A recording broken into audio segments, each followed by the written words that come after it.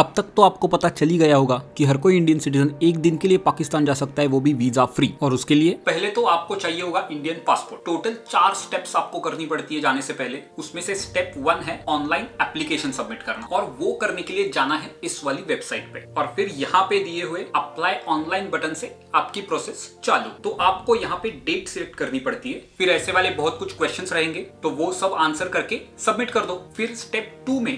आपको ministry of external affair से call आएगा और वो कॉल पे कुछ सवाल पूछेंगे स्टेप थ्री उसमें आपको नजदीकी पुलिस स्टेशन से कॉल आता है और फिर पुलिस स्टेशन आपको जाना पड़ता है वेरिफिकेशन के लिए और फिर लास्ट स्टेप नंबर फोर और एक बार ये वाली वेबसाइट पे जाना है और यहाँ पे आप आपके रजिस्ट्रेशन नंबर से डाउनलोड कर सकते हो ई e मतलब इलेक्ट्रॉनिक ट्रैवल ऑथोराइजेशन और हो गया फिर उस दिन सुबह डेरा बाबा नानक पहुंचना है पंजाब बॉर्डर पे और आपके साथ लेके जाना है वो ई e का प्रिंट आउट और पासपोर्ट और हाँ इस चैनल को सब्सक्राइब करना मत भूलना